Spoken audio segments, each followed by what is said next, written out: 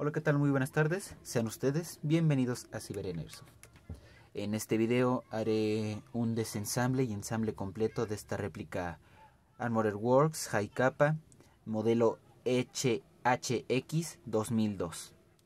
Se hará lo que es un desensamble, el ensamble de nuevo, el engrasado y la limpieza de la misma. Por consiguiente vamos a proseguir.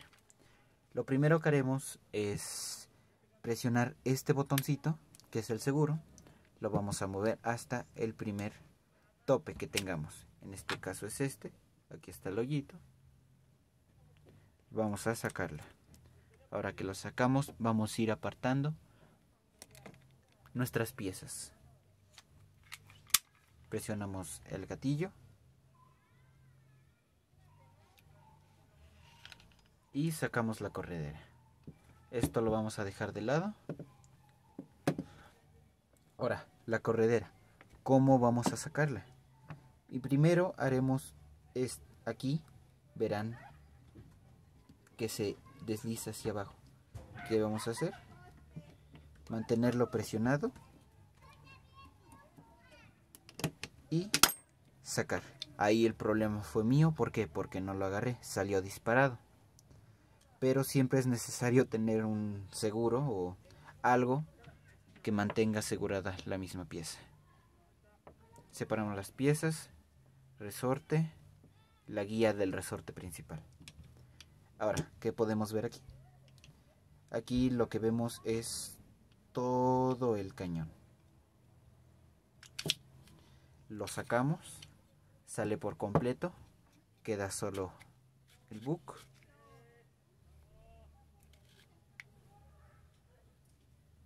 pueden ver. Es necesario también lubricar en este ahí ahorita en un momento. Pero primero seguimos con esto.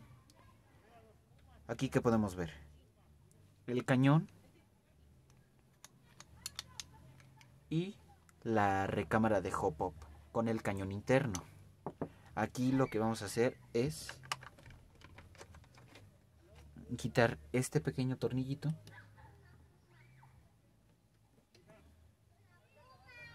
Vamos, yo por lo general para cuando hago este tipo de trabajos tengo un pequeño imán en el cual pongo mis tornillos, mis piezas metálicas.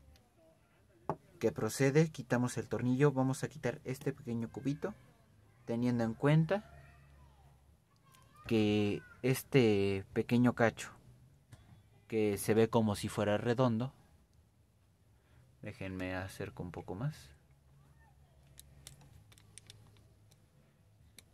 Este pequeño cacho que se ve como si fuera redondo va a ir en torno así en el círculo. Vamos separando que no se junten las piezas. Ahora quitamos el cañón interno. Como podemos ver está bastante sucio bastante engrasado porque hice el engrasado en estos días y no pude subir el video pero lo volvemos a hacer sin ningún detalle yo por lo general tengo estas toallas absorbentes de grasa, las pueden encontrar en Aurrera, en Walmart, en la parte de mecánicos. Sirven muy bien para absorber la grasa y para limpiarla. ¿Qué procede? Con un yo corto esa tela, este papel como si fuera de cocina en pequeños trozos para que así tanto rinda más como para que sea más limpio. Los apartamos. Es importante tener una base en la cual no resbalen las cosas. El escritorio es de madera y es muy fácil que se resbale. Pero al contrario que aquí te tengo un trapo y tengo una de las toallas, no es no se resbala, se quedan ahí estáticas. Ahora, que prosigue. Vamos a empezar a limpiar el cañón interno. Lentamente y poco a poco. El cañón interno, todo esto se tiene que ir limpiando porque porque hace fricción cada que se recarga o cada que se hace hacia atrás la corredera.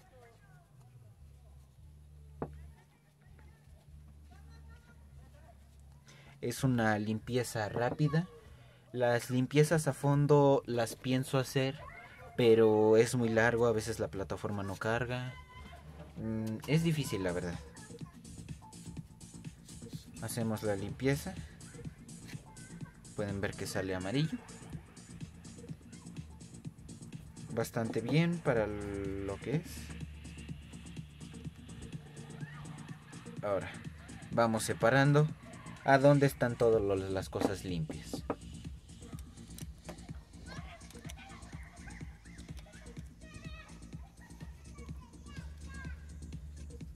Nos puede seguir sirviendo. esta guía de resorte principal la tenemos que limpiar bien porque es de las que más se enmugran.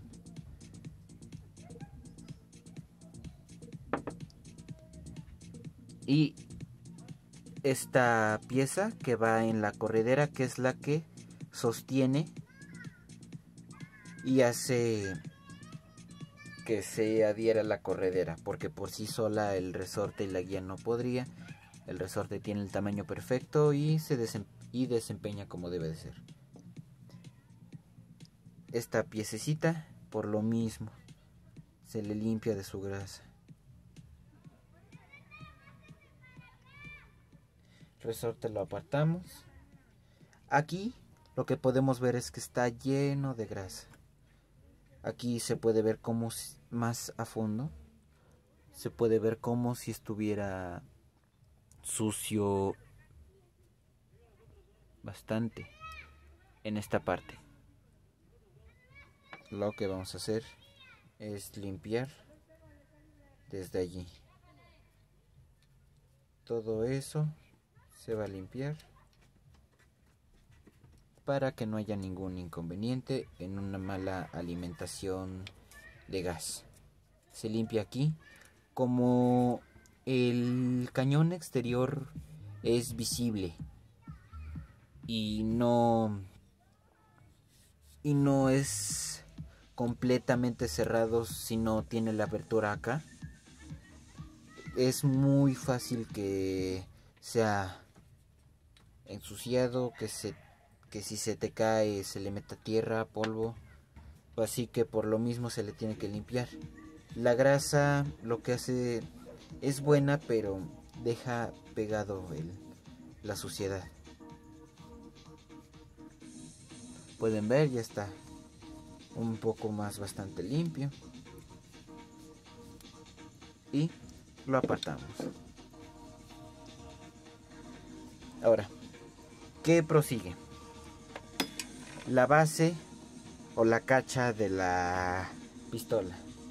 Lo que vamos a hacer es primero limpiar las correderas. Limpiar el interespaciado de las correderas.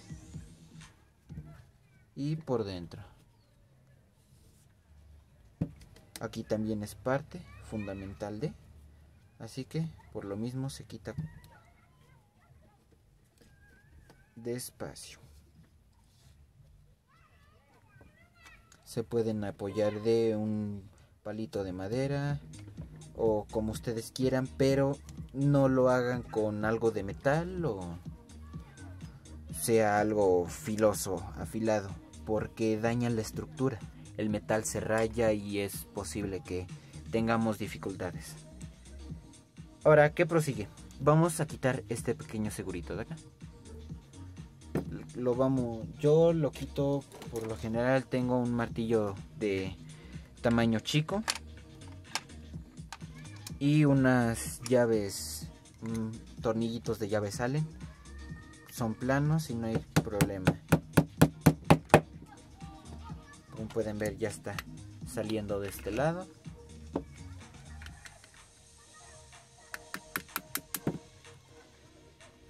Y lo quitamos lo apartamos quitamos nuestros materiales para no tener problemas tengamos store. Y qué vamos a hacer agarramos esta parte de acá ahí donde se ve que está texturizado. Lo vamos a agarrar y vamos a soltar. Ya que lo tenemos suelto lo apartamos y qué vamos a hacer vamos a bajar acá. Bajamos este espacio. Ahí tenemos acceso a la placa. Esta cosa que sirve para qué y qué es lo que hace verán en esta parte pueden ver esta pequeña cosita negra. Es el metal principal del martillo por así decirlo la guía del martillo. Y aquí que tenemos un pequeño resorte. Si pueden ver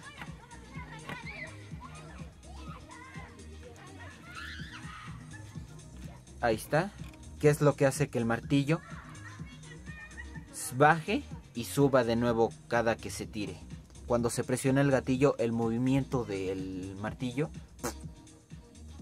lo que hace es rebotar para accionar aquí podemos ver el seguro de esta pieza. Lo que vamos a hacer es bajar.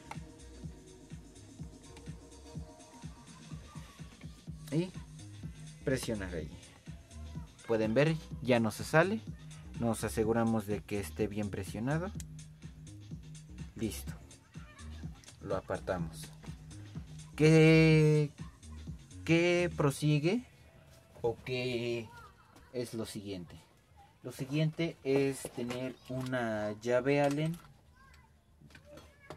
del tamaño 2 o 3.5, desconozco bien, no, no, ahora sí las llaves que no viene nada, sí, una llave Allen de 3 milímetros. ¿Qué vamos a hacer? Es meterla bien y girar.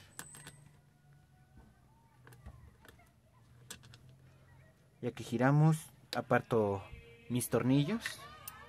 Como dije, tengo un lugar, un imán para ellos. Dos tornillos. Ya que quitamos esos dos tornillos, vamos a quitar un tercer tornillo, pero de cruz o Phillips. Se encuentra acá adentro. Vamos a hacer es desatornillarlo.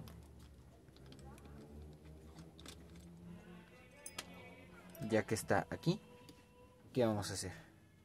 Vamos a sacar la caja de mecanismos.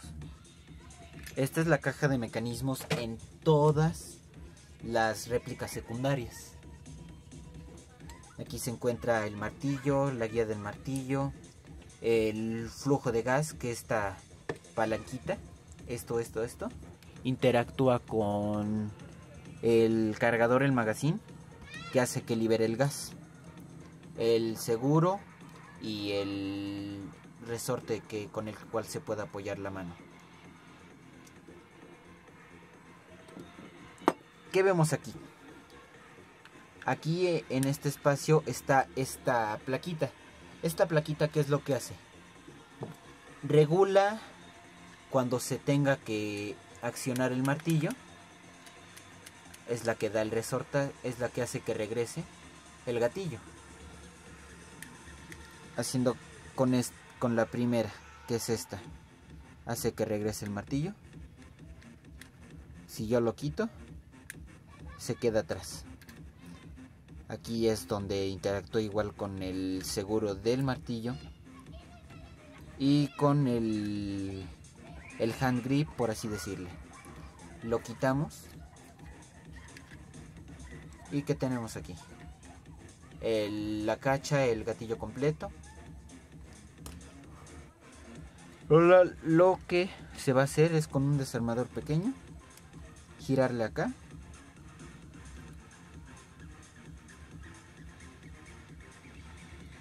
Casi en semicírculo para que salga. Desconozco el por qué no sale. Ya lo he hecho una vez, pero pues tengo que averiguarlo bien, eso será en otro video. En checando problemas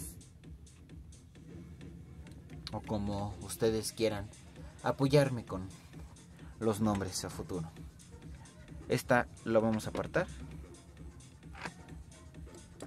Pero aunque yo diga, no, ah, no es que no sale, no, no veo por qué no salga. eso créanme que no va a afectar en el funcionamiento del seguro del magazine.